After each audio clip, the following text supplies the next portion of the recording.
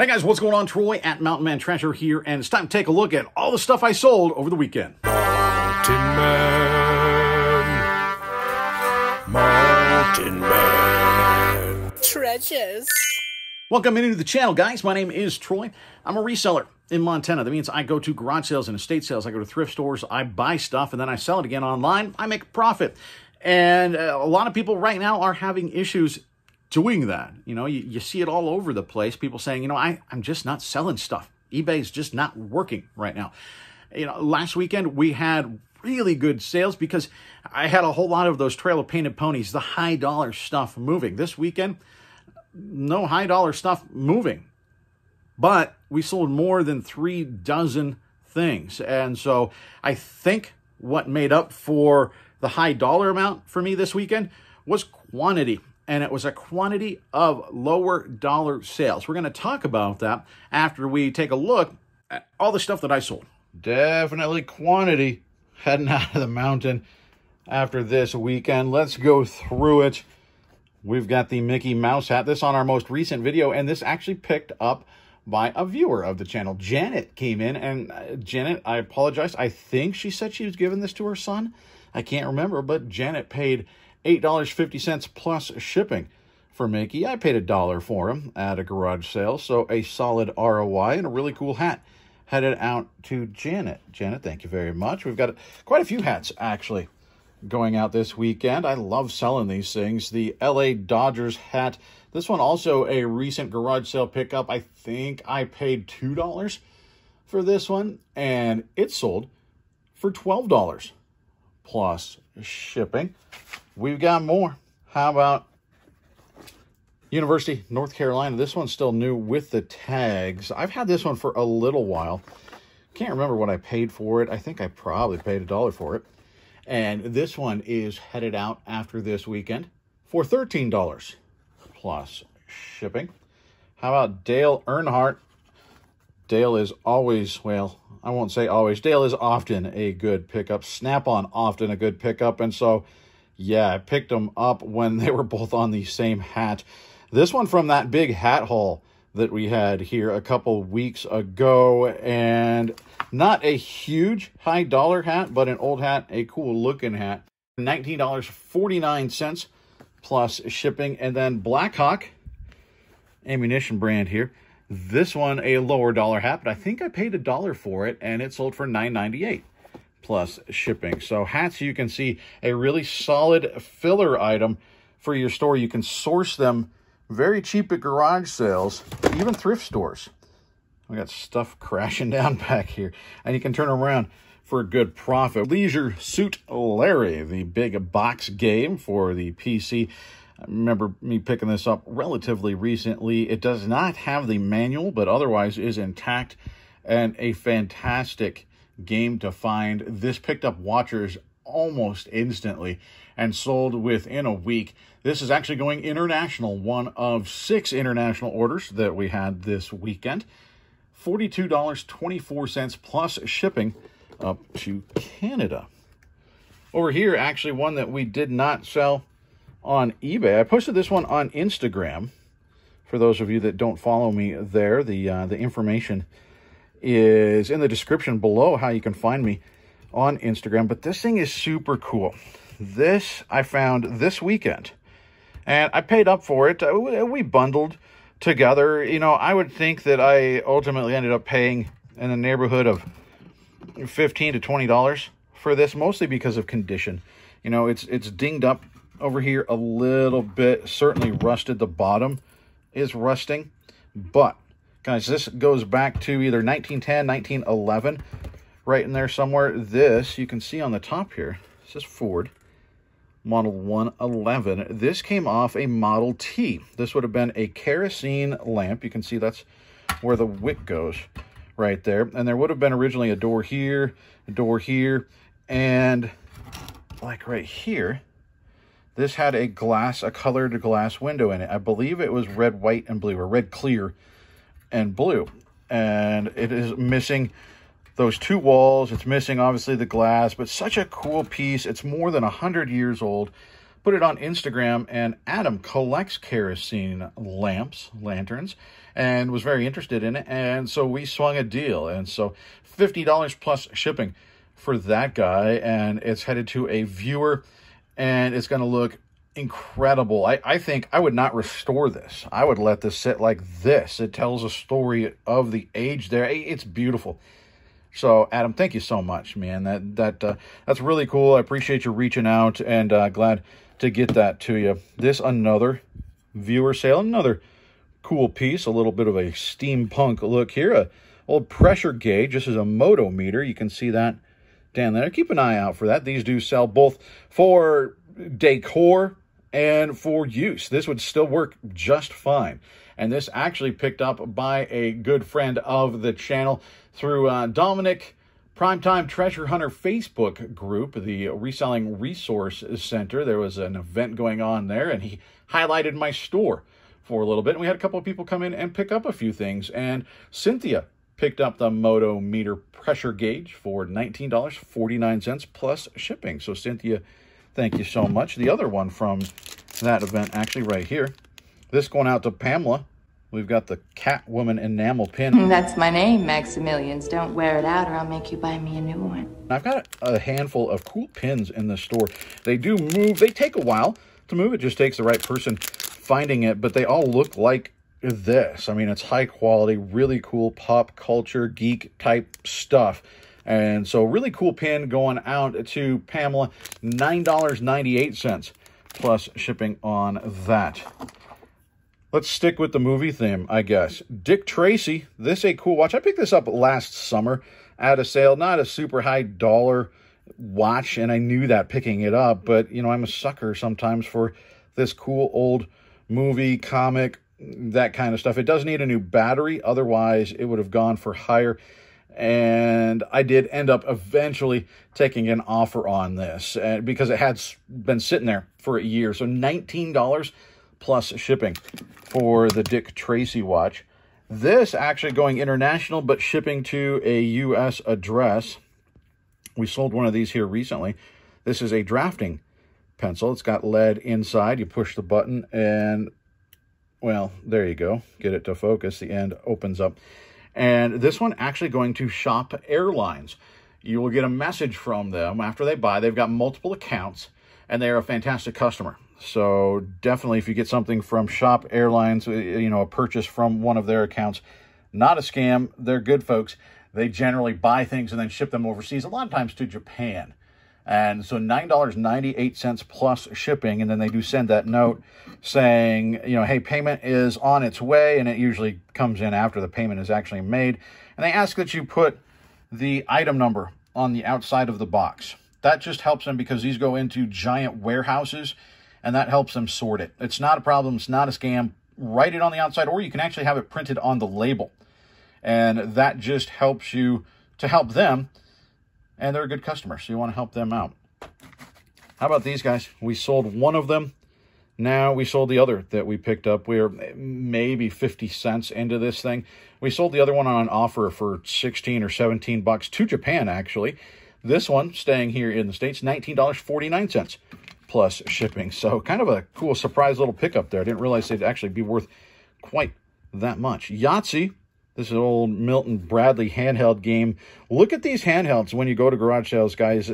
Not a lot of them are high dollar, but a good number of them are actually worth buying if you can get them cheap. And generally, people sell these things for cheap. Now, there are some solitaire, there are some other games that actually sell pretty high dollar, especially if you can find them new. Sometimes you can find those things new and sealed, and you can sell those things for approaching $100. It, it's crazy.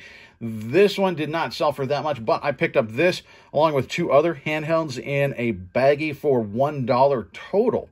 So certainly worth picking up because this thing sold for $8.99 plus shipping. So certainly worth the time on that. Over here crashing down, unfortunately, Reign of Terrier. This is the Scottish Bakehouse Mystery series. We sold a couple of these for pretty high dollar. One of them was the last in the series, and one was, I think, near the end, a little bit more rare. And this one's been kind of just hanging out, even though I liked the play on words a lot. This terrier was in I think all the he must be a main character. I, I don't know, but this eventually did sell. All profit four dollars ninety nine cents plus shipping on that one. We've got a vinyl back here. Actually, we sold two of them this weekend. This is a cool one. Deep Purple's Burn. Sorry, that's reflecting on there. And you can see it's definitely got some shelf wear, but it is still a very good album and desirable. I took an offer of $8.50 plus shipping on that. Let me move some of these and we'll get to the rest. All right, now we got some room to move these things as we show them. Whoop, knocking them all down.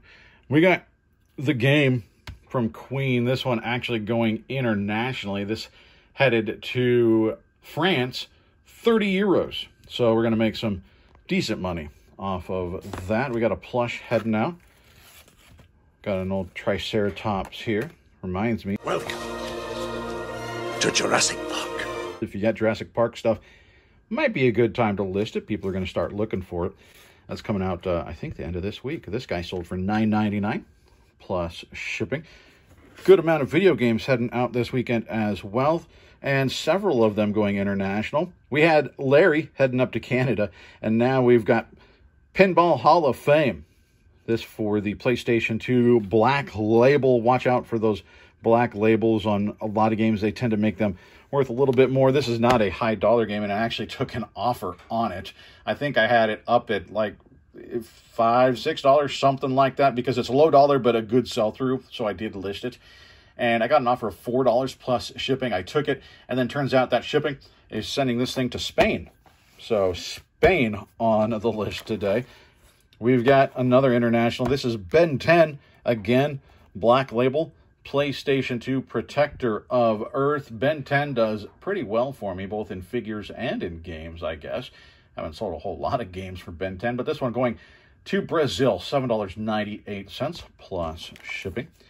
Got Virtua Tennis for the Xbox 360. Very low dollar game here, but again, it had a high sell through, so I listed it and it sold for $6.98. Free shipping. Here we got another black label PlayStation 2 Dead to Rights 2, $14.29 plus shipping.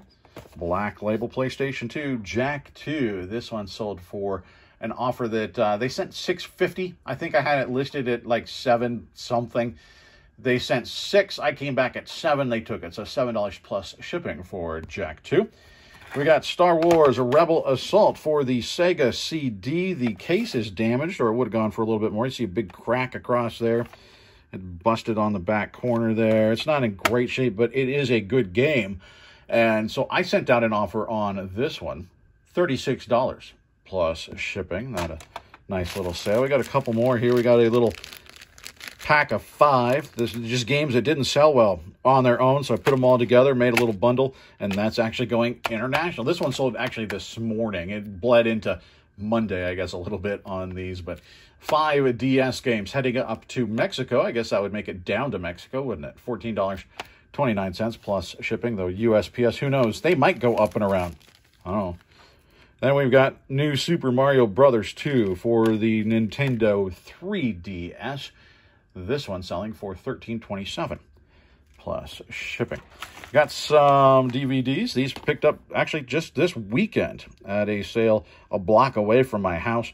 NCIS, some of these seasons sell pretty well and for decent money. I've sold them before. This is the 18th season. This show has been on forever. It's had spin offs. At one point, I don't know if it still is, it was the most watched show on network TV for some time. People love this show. And the later seasons, I think, are not streaming right now. So that's why some of these still sell for pretty good money. The 18th season, this one sold day of, or I, I think next day of listing, 998 plus shipping. Now, I did pay $5 for this, right? But only because I knew that the sell through was there. I could sell it for 10 bucks. So after purchase price, after fees, you know, even after taxes, you know, we're still going to make three bucks, four bucks, something. And I mean, it took no time. Picture, picture, and then you open it up and you take a picture of the discs. I mean, it's three pictures and a self similar to make three or four bucks. Why not? This one, much better. NCIS, the 16th season.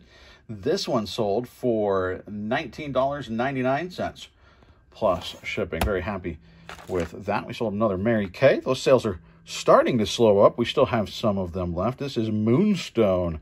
This is uh, eye cream powder. I don't know what it is other than $7 plus shipping. Then we sold another thing to a viewer. This is vintage Teenage Mutant Ninja Turtles. These are accessories to Fugitoid. And these going out to Todd. Said, not an Animan, but I hope these help get things moving. And Todd, things are moving this weekend. Thank you so much, my friend. $12 plus shipping for the Fugitoid stuff. A couple of cassette tapes. We've got the Highwaymen. This is actually Highwaymen 2. These guys are awesome. And uh, so I, I picked it up mostly because I love them. We got Willie, Johnny Cash, Waylon, and old. Three ninety nine plus shipping for that one. And then this one that I picked up this weekend. Uh, I picked it up with a whole bunch of stuff. We paid $40. It was a church sale, and it was how much do you want to give us? So, you know, I definitely paid up for some of the stuff there, even though we, we are going to make money on it for sure.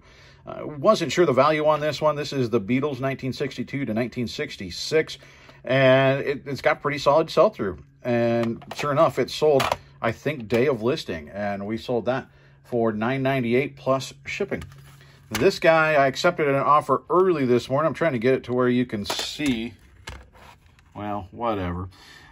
it's a mirror, so it's reflecting everything there you go. You can kind of see. It's. I, I thought it was neat. You know, you got the boy fishing, the hat, the dog running along. It's just kind of a cool classic picture. And so it's the mirror thermometer. It's an advertising piece. Got plastic along the side here. It was just a neat piece, and so I took a shot at it. And I got an offer overnight that I accepted this morning, twenty-one dollars plus shipping. Pretty cool. Another international sale here. This is, uh, of course, Hoka One. One. And the bottom, a little bit chewed up, right? And I didn't really clean them up. You know, I just listed them as they were, to be quite honest with you. And, you know, it's not awful on the bottom. There's still certainly a good amount of tread, but it is worn. But these have such a good sell-through. Picked them up anyway for a couple bucks at Goodwill. And they sold overseas going over to Australia for 100 Australian dollars. I'd have to check what it is today. Usually it's 73, 75 cents in that neighborhood is the conversion rate. So those aren't going to be super expensive to ship over. So we'll definitely make good money off of those. We've got some toys heading out as well. This is an old Transformers toy, an old G1 Generation 1. This is from 1987. It's Rippersnapper. And this one I actually got an offer. I think I had this on up at 798 plus shipping, you know, not real high dollar. And uh, I got an offer on it of, I don't remember, it was like five. And I countered back at seven. That's really where I wanted to go. I think mine is the only one out there, or it was anyway. He countered back at, it, it was still very low. At like six, I came back at seven. He came back at 650. I came back at seven. He declined. Then he came back later in the day at 6. And it was sort of a, well, I'm the only one interested, so now my offer went down. So I offered 7 again, and guess what? He took it. So he was very determined to get a good deal, but I stuck to the price that I wanted to stay at, and ultimately he went, fine, you have the only one, I'll take it. I don't know why people are so obnoxious sometimes over 50 cents, but I, I guess they could say the same thing about me. We've got this guy. This is old school G.I. Joe. This is a Toxo Viper, and he would have sold for more, but his legs are, you can see, very, very loose. And so I did price him down a little bit just to try to move him out. And he did still sell from 1988, selling for $7.99 plus shipping. And then we got another little here. This is from Hardee's, back when Hardee's had toys. It's Hanna-Barbera. This is Dick Dastardly, along with his dog. And, uh, you know, I've said it before on the channel, you never know what's going to go international. And this one is going to France. They paid 23.10 in euros. This is going to go over at like four ounces, so it's not going to cost me a whole lot to send over. We're definitely going to make some money on old Dick Dastardly. So that a cool little sale. Got a knife as well. This is a vintage knife. You can see right there, Stewart's Stewart's butcher knife, twenty two seventy four plus shipping. And then this guy. You know, this guy was giving us a hassle. The guy that bought this one. This one is funny. And, uh, well, I'll tell you the story here just in a second once we sit down and finish this thing up. But I will tell you that it ultimately did sell. And it's a nice sale. We got $51.99 for Halloween. This is a rare copy of this VHS tape, this media. Watch out for that. The media home entertainment. There are, of course, just like anything else, lots of versions, just like, you know, vinyl. You'll see versions, cassette, you know, music, you'll see versions. We talked about the games, you know, the black label back there. That's the first version of that game on PlayStation 2. This one as well. You know, th this is a rare copy. And the cheapest that has sold in the last little bit, last at least when I listed these, was at $50 and had somebody's name written across it, right? So it was in rough condition, but there's nobody's name written on there. And so I priced it right about that $50 mark. And we did eventually get that sale. So lots of stuff there, right? I mean, not a lot of it was high dollar. We did have six international sales, which when people say, how can I ramp up my sales? That's one of the things I offer. As I say, you need to sell internationally.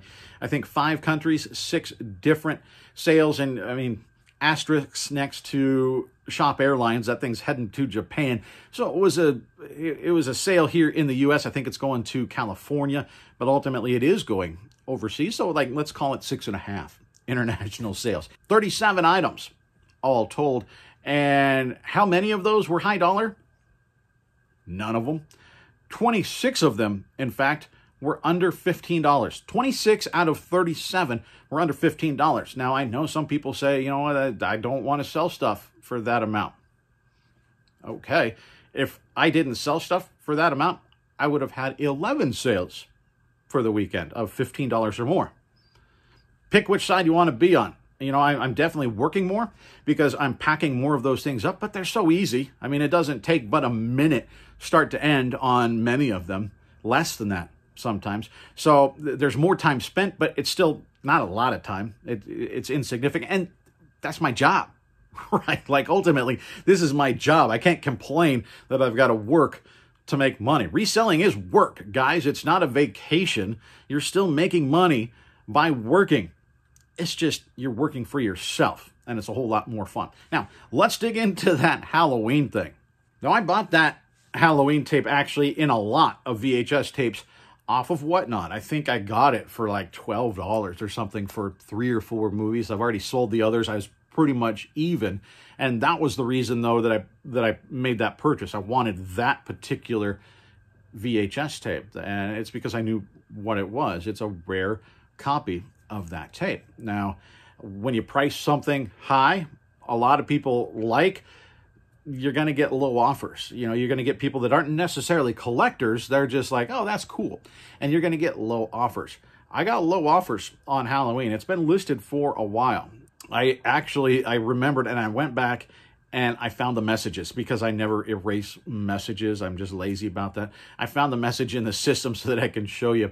I got an offer on this uh, some time ago for $10. Note that I had listed it 50 plus.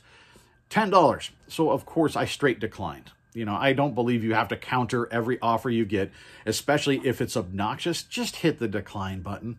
If they're interested, they'll come back again. And this person was, I guess, interested because they came back at $11 and they attached a message to it. Check this out they said, you know, hey, th- this is only worth $50 for somebody that really wants it and is willing to pay that amount for it. I mean, I guess that's what they said, right? Uh, weird. I know, that's who I'm selling it to, dude. Um, so I think my offer is more than fair. It's not. So I countered, I don't remember what I countered at that point. It wouldn't have been any less than about 45. And I don't think I started sending that out until it had been listed for a while it was probably about 50 bucks, you know, 49, something like that. Then they came back, as I recall, at something like 1150, right? Being obnoxious, like, okay, I'll, I'll up my offer, you know, they're not really up. At that point, no, we don't want anything to do with them, right? So straight decline. Uh, then later on, look at this. I got another one. And at least they made a real offer at it, but they said, it's my birthday.